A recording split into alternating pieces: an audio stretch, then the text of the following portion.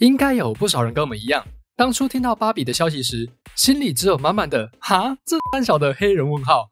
一方面感叹现在的电影竟然已经创意枯竭到需要对学龄前的孩童玩具下手，另一方面却也不禁有些好奇，华纳这是葫芦里卖的什么药啊？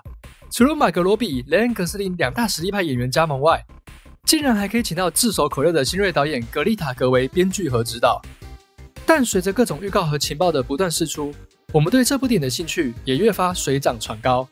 似乎它不像想象中的一样，只是服务粉丝这么简单。那么究竟这部致敬的《楚门的世界》，看似真人版《玩具总动员》式的搞怪喜剧，实际表现究竟如何呢？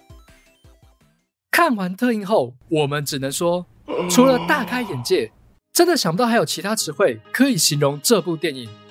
它既有符合粉丝期待的奇思妙想，巧妙利用世人对芭比的刻板印象，透过两个世界对性别的价值观落差。塑造出自然诙谐的剧情发展与角色互动。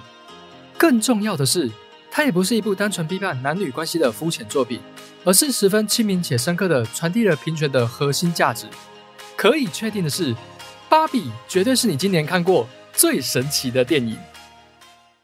如果你是第一次来到这里，本频道致力推广影视作品背后更多的可能性，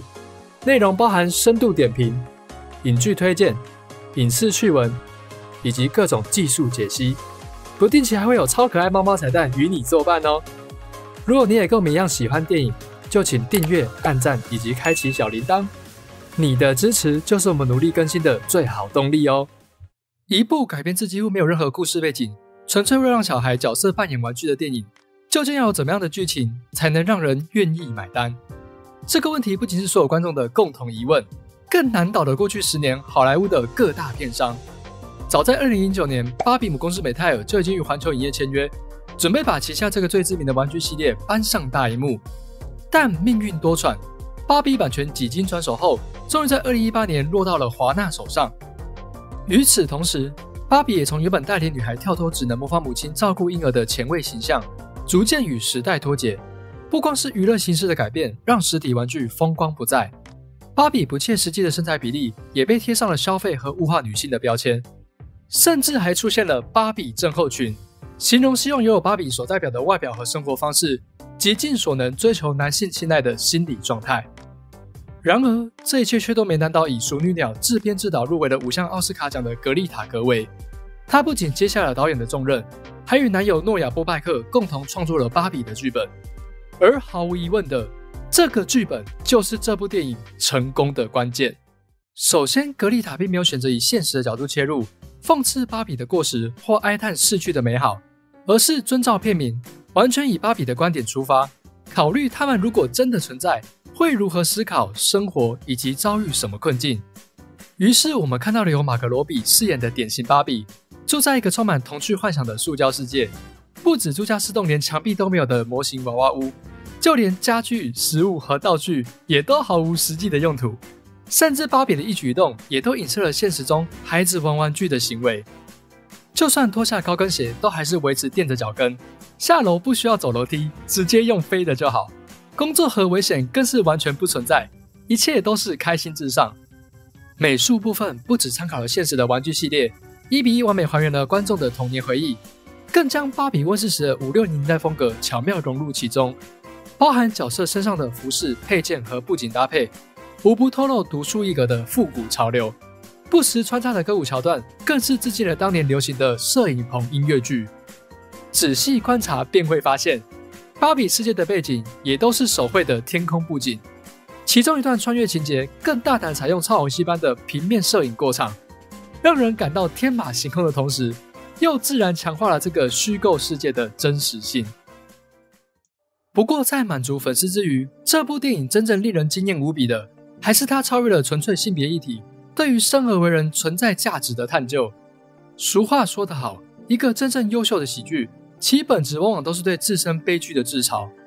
但要做到这点，除了要认知自身的缺陷外，更重要的是该如何与观众建立连结。芭比所运用的，正是我们在《蜘蛛人穿越新宇宙》深度解析中所提到过的，创造观众知道但角色不知道的戏剧手法。我们所有人都认识芭比娃娃，也都对充满缺陷的现实心知肚明，所以自然也能想象傻白甜他来到人类世界后，会搞出多么尴尬又搞笑的乌龙事件。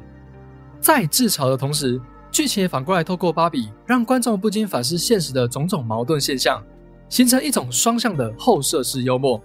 也就是透过让角色遭遇现实中观众也曾体验过的处境，达到让人抽离主观好坏，从上帝视角重新审视问题的效果。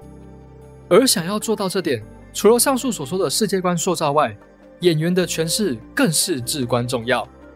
如果说芭比的剧本升华了这部电影的上限，那么毫无疑问的，男女主角的选角就已经让这部电影成功了一半。马格罗比的表演，正如自己在剧中的台词：“我就是那个每个人想到芭比时会想到的芭比。”尽管起初却是个不知人间疾苦的傻白甜。但剧情越到后头，越能感受到她不同于其他芭比的胆识和包容。从一无所知到遭受真相打击，再到勇于找到自我的角色转变，也在一定程度上实现了女性对芭比的寄托与期望。但要说到本片的最大惊喜和亮点，则毋庸置疑是雷恩·格斯林饰演的肯尼。正如电影海报上的标题，他是全世界，而他只是肯尼。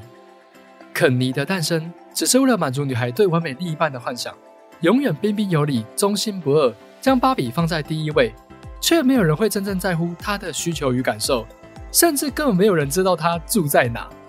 就连观众在进场前都以为她只是个衬托芭比的花瓶角色。这点不止影射了女性在历史上的真实遭遇，更深刻连接到男性意识父权受害者的真相。表面上的坚强与从容，实则是为了掩盖自卑与不安的伪装。当揭下面具的那一刻。或许早已被所谓的男子气概伤得体无完肤。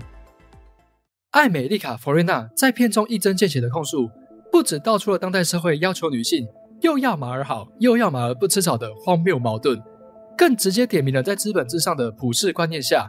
个人价值被视作商品衡量的无力与空虚。归根究底，这并不是父权或女权谁优谁劣的问题，就像是芭比对肯尼说的：“我们会争吵。”是因为不够了解自己。更进一步来说，不论是芭比还是真实世界，真正的问题都在于没有给予所有人足够探索与定义自我的机会。然而，这些沉重且深刻的议题又被巧妙包装成一个个令人捧腹大笑的高级笑料，让人嘴角失手的同时，又不禁眼角泛泪。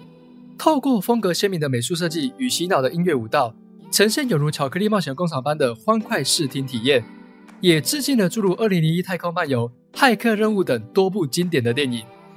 尽管碍于时长和本身调性的限制，难以在性别议题上提出更深度或独到的见解，处理现实世界的角色时也有点太过刻意，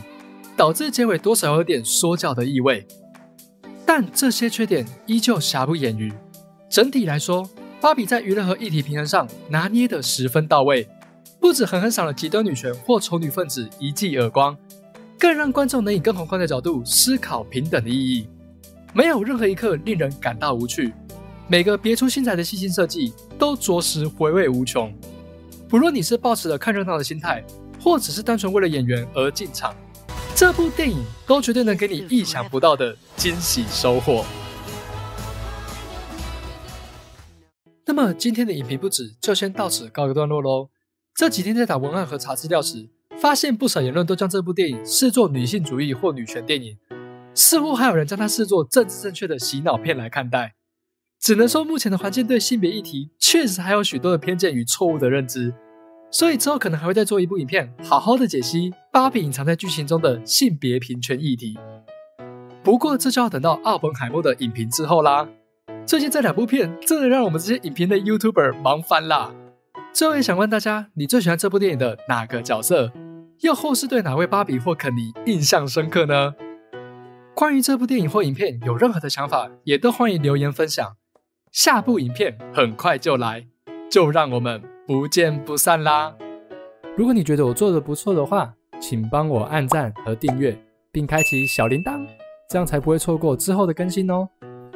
电影不只是娱乐，也是各式人生的缩影，它来去之间总会有个画面令你驻足。欢迎各位爱电影、爱人生的朋友来与我们一同学习这门平凡且伟大的艺术——电影学。学电影，我们下回再见喽。